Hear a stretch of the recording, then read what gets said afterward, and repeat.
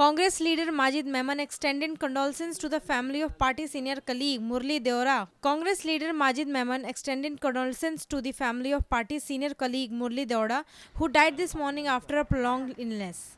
Memon said that Deora had done a great deal of work for the party and his death was a huge loss. Well, it is very sad. You know, Murli has been in active politics for past several decades. As I personally know him because he was a candidate for two or three terms in the past in South Mumbai, where we have been working. And in fact, he has also groomed his son Milind, who has also been doing a good job. And uh, we feel sorry for the great loss of our peer from Congress. And uh, I only pray uh, for his wife Hema and his son Milind. May God give them patience to bear this loss, and we would pray for uh, his soul to rest in peace. Reacting on West Bengal Chief Minister Mamta Banerjee's allegation against BJP, Memon cautioned on the role of the CBI and said the investigating agency must honestly probe the matter rather than be a part of a political vendetta.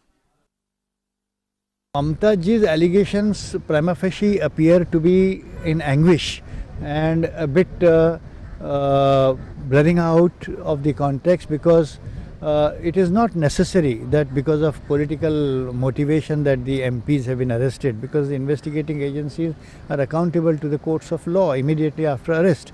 But at the same time, there is some substance in what she says in, a, uh, in view of the fact that just recently Supreme Court has lambasted and severely criticized the director of CBI who has been asked to keep his hands off from most sensitive investigation.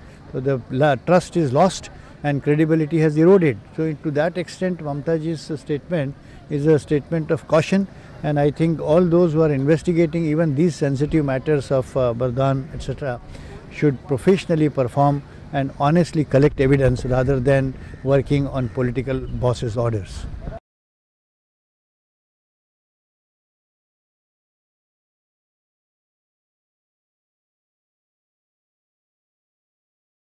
Giving his views because he belongs to the party.